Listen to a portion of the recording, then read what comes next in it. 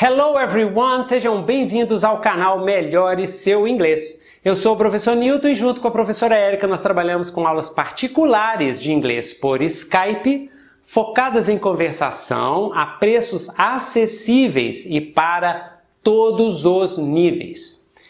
E vamos ver a dica de inglês de hoje. Hoje nós vamos aprender algumas expressões com about. Então vamos lá? Listen and repeat. Eu estou pensando em alugar um lugar.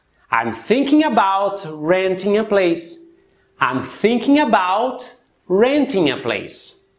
Não se preocupe com o exame. Don't worry about the exam. Don't worry about the exam. Don't worry about the exam.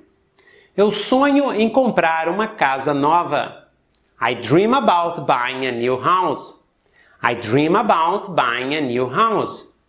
I dream about buying a new house.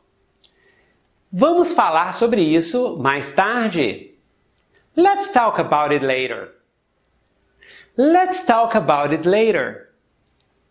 Esqueça de mim. Forget about me.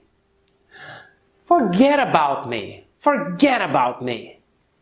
Ele perguntou por você. He asked about you. He asked about you. Ele cuida de sua aparência.